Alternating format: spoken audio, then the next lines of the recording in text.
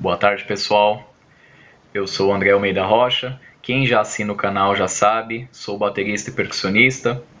E existe um motivo muito importante para a gravação deste vídeo, desse exato momento.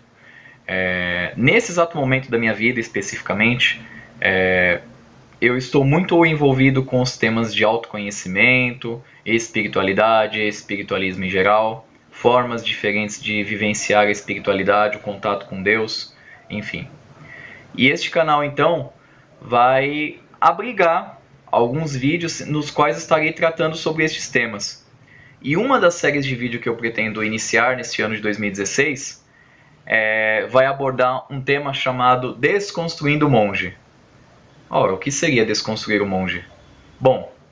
Seria desconstruir alguns conceitos internos que normalmente nós espiritualistas das mais variadas vertentes e linhas, todos aqueles que têm algum tipo de fé, costumam construir é, e na verdade não são interpretações tão corretas. Às vezes a gente acaba tomando como verdades absolutas certos conceitos religiosos e que na verdade foram por, criados por homens e, enfim, acabam nos atrapalhando um pouco em nossa caminhada é, acabam nos atrapalhando um pouco em relação à nossa verdadeira vontade, que é o verdadeiro motivo do porquê nós nascemos neste momento no plano terrestre. Bom, para comemorar esta nova fase, eu gostaria de pedir, com a permissão de vocês que estão assistindo o canal, eu vou cantar uma canção de uma das linhas de Umbanda que costuma trazer redirecionamento, linha do povo do Oriente, são João Batista e vem minha gente, vem chegando com o povo do Oriente. Oi, salve a fé, salve a caridade.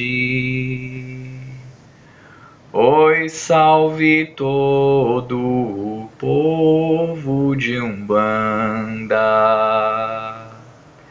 Oi, salve a fé, salve a caridade. Oi, salve todo o povo de Umbanda. São João Batista e vem minha gente. Vem chegando com o povo do Oriente. Oi, salve a fé, salve a caridade.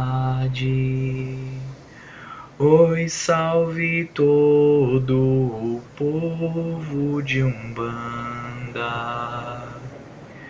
Oi, salve todo o povo cor-de-rosa. Oi, salve todo o povo de Umbanda. Pegaram, né? É, talvez eu grave mais alguns vídeos também dentro da temática do ISMR. Portanto, sejam bem-vindos à nova fase do canal.